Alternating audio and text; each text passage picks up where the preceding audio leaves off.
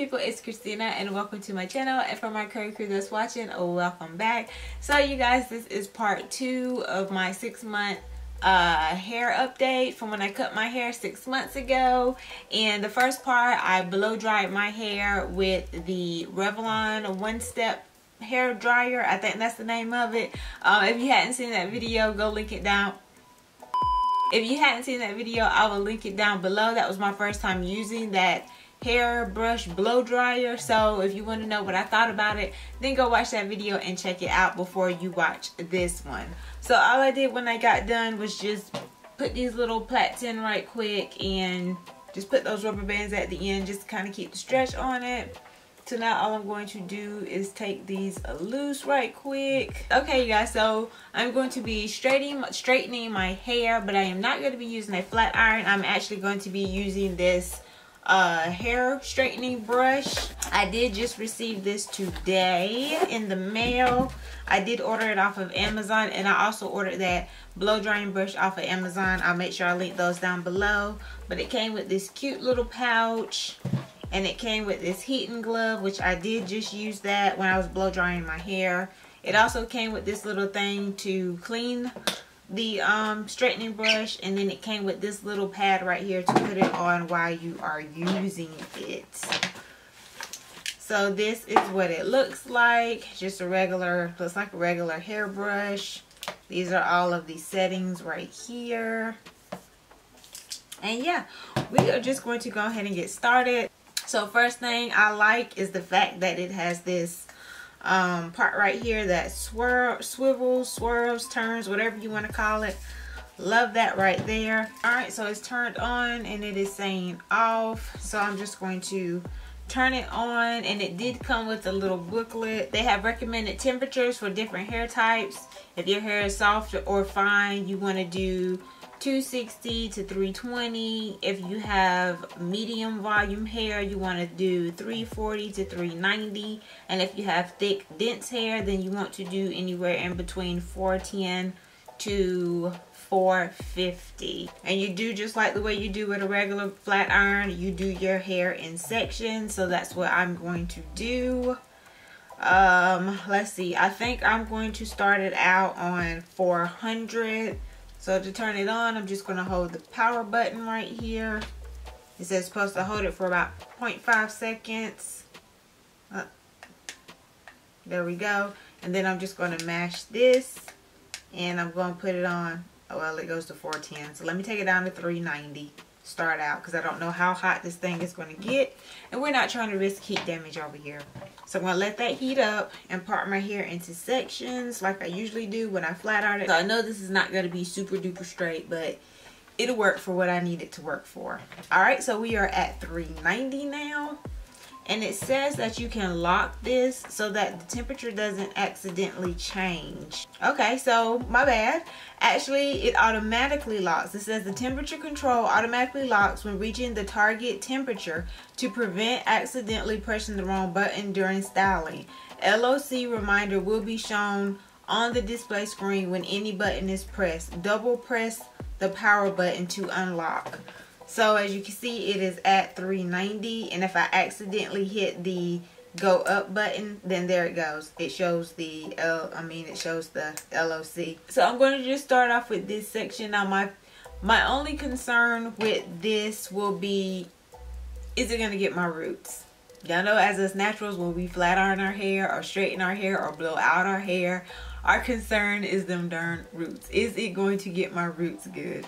And also, if you've been following me for a minute you know I am scared of heating tools because I am scared of burning myself. So um, I can feel the heat coming out of this thing. I can put my hand on it but I can't keep it there. So yeah I'm a little nervous right now. I'm nervous because I'm telling y'all I'd be scared of getting burned so I am gonna put this on because my hair does get hot when I be doing this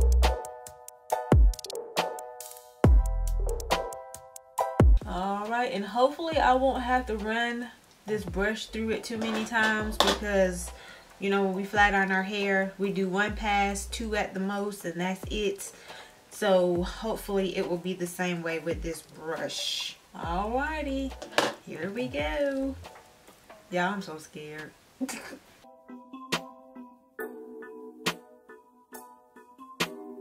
So it says you're supposed to go through slowly and smoking, but I know that's because of the product in my hair. Can't feel nothing with this brush on. I mean with that glove on. Hmm. Not bad. Not bad at all.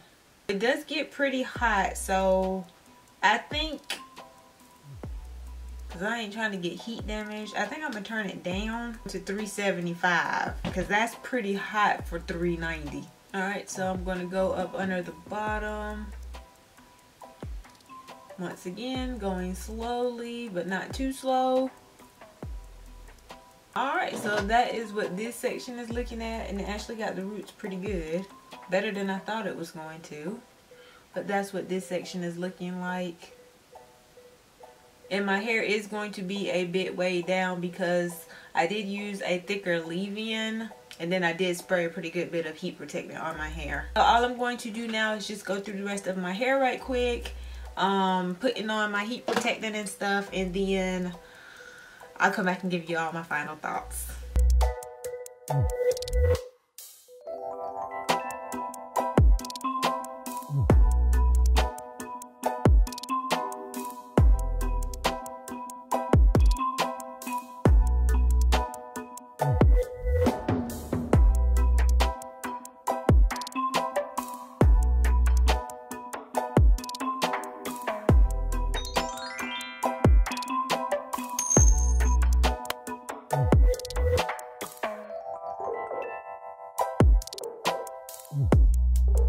Finally finished and first let me say that I am 100% impressed but not impressed with what you think I'm impressed with. Not impressed with the tool but impressed with the length that I have retained in six months oh my gosh you guys. Like i knew my hair was growing and i was retaining length but i did not realize i retained this much length. And you guys y'all can't even hardly see it. Let me change my shirt right quick. I'm back.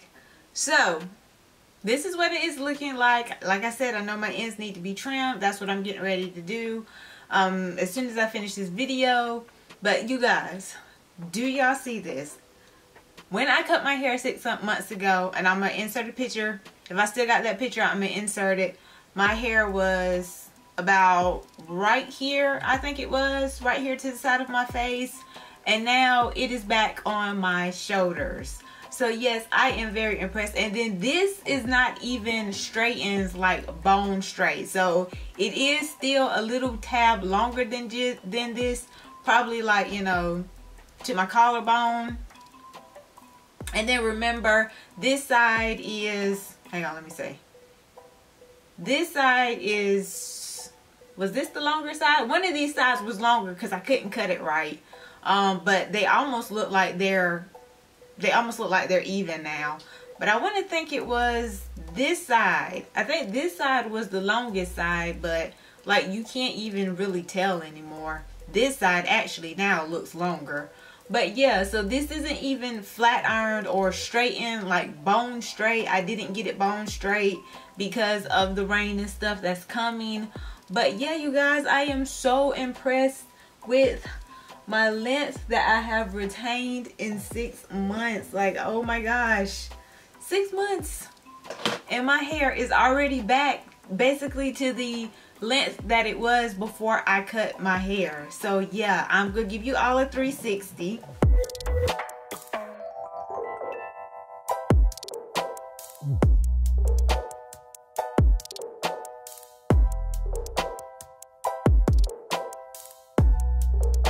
And I got to hurry up because my battery is about to go dead.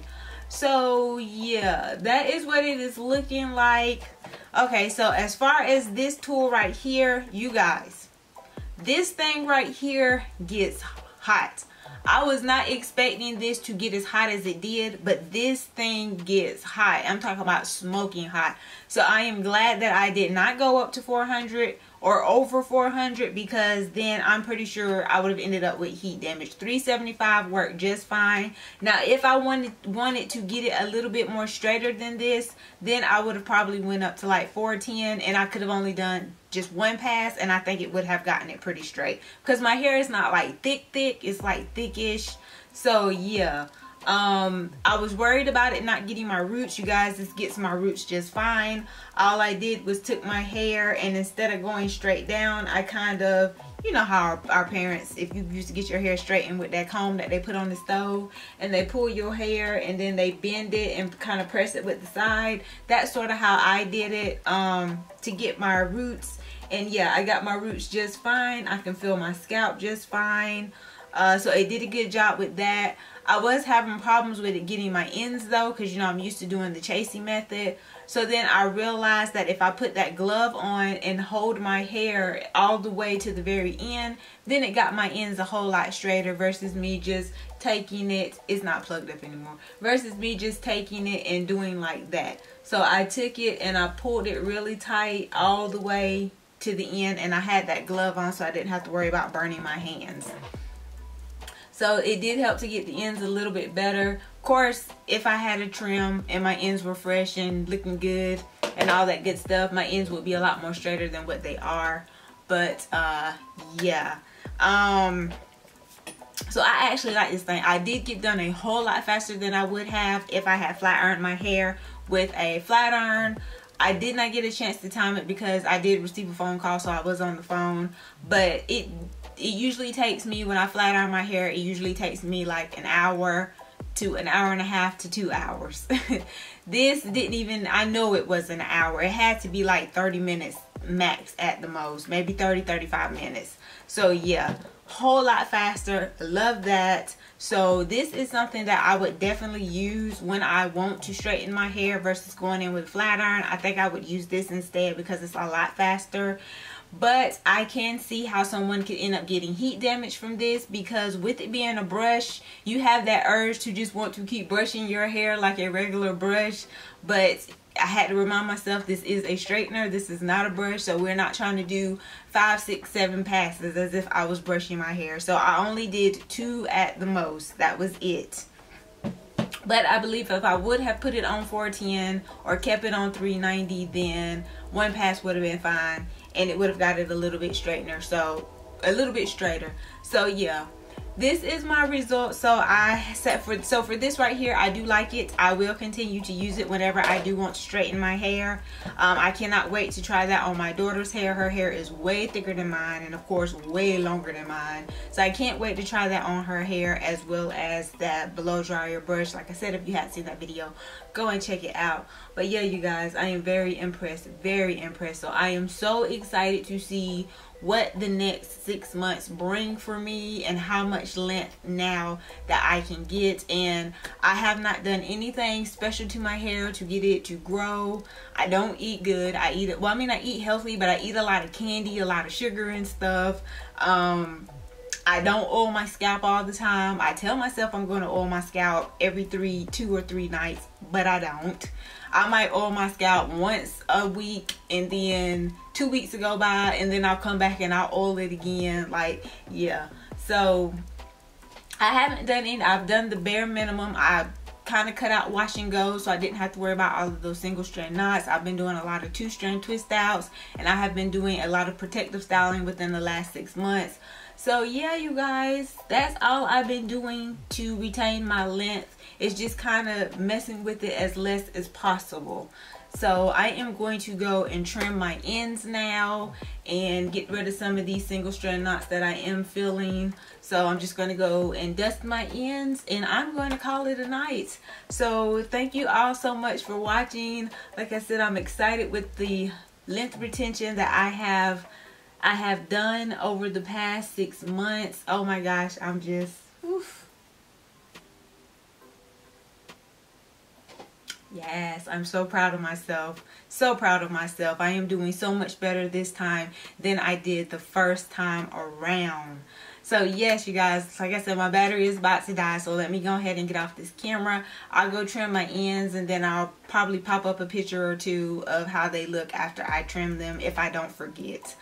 so yeah that's all i have you guys i hope you enjoyed this six month date six month update of my hair growth and also my review on these two products. If you have any questions or comments make sure you leave them down below for me in the comment section. And thank you so much. If you enjoyed these videos make sure you give them a thumbs up. If you're not subscribed to my channel make sure you hit that subscribe button down below so you can join my curry crew. And as always you guys thank you so so much for watching. It means so much to me of course. And until my next upload you all enjoy the rest of your week and i'll see you in my next video Bye.